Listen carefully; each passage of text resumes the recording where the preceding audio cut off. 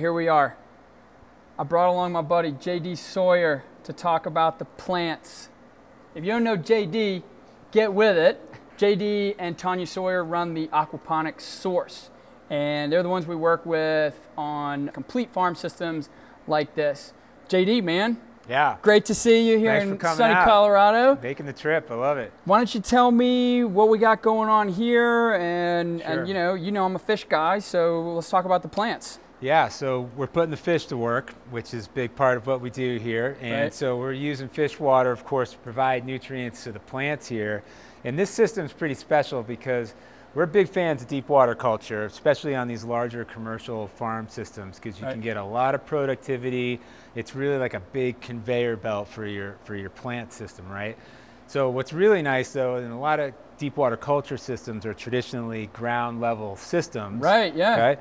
This one, as you can probably tell, is waist high. Right? Easy to work with. Super easy to work with. So really, really love that feature because this is the bulk of your day-to-day work is seeding, transplanting, and of course harvesting the crop. And so to be able to do that comfortably at waist height is really, really nice.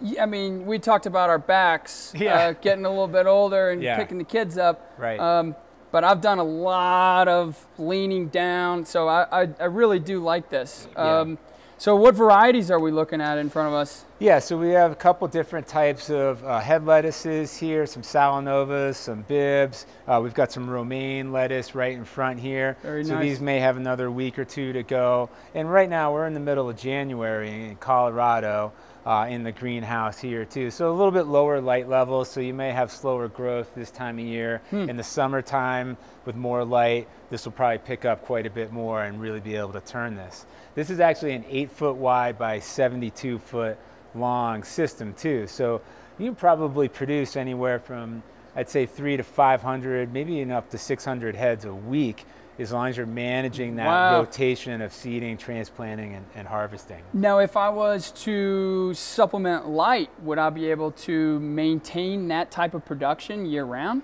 Absolutely, yeah. So you could even have a, a more consistent uh, production and potentially even shorten that, that yield time or that grow time and be able to produce that much more crop.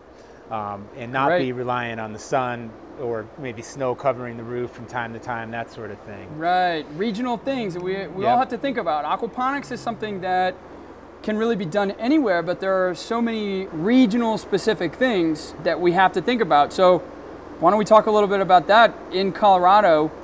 What types of things do you have to keep track of versus maybe Louisiana, where we are?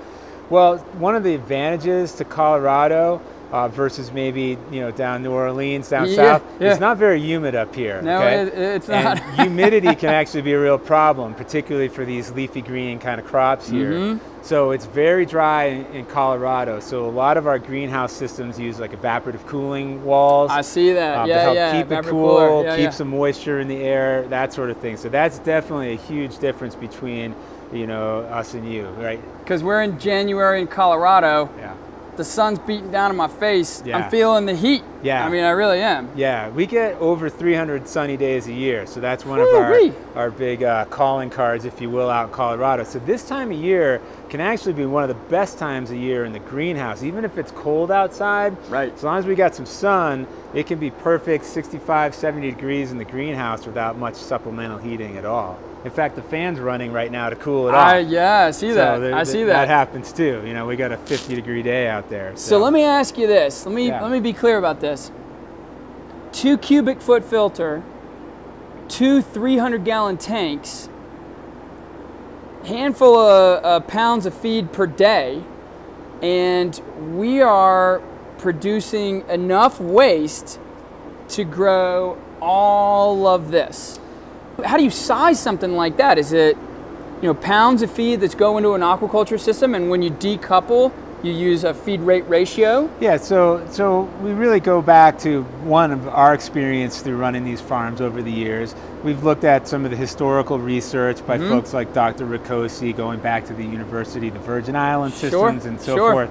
So we do look very closely at feed. So when we typically design a system, we're looking at the, the overall square footage of the plant system and the type Mhm. of plants are going to uh, and grow. So we got a lot of leafy greens here. And then we take our calculations of how many grams or pounds of feed we need per square meter to accommodate the nutrient requirements of the plants. And so it's really all about what the fish are eating, the waste they're producing, and that expected daily feed ratio to make sure we're providing all the nutrients, right? I, I love it. I love Yeah. it. And and as far as waste from a system like this, is there anything wasted? Zero. yeah, especially So all inputs. Yeah, so we're providing feed, the filter is doing its job, and then we can even extract some of the solid discharge from that filter and remineralize that and then reintroduce that into the system, which is actually what allows us to even drive the daily feed rate uh, that much lower because we're just getting everything we even can more efficient. out of the out of the fish waste, right? And Colorado being a state where water may not be as readily available as some places in the deep south, Yeah. having that water resource really managed that way and growing this many crops. Yeah. So would you say 78 by 70?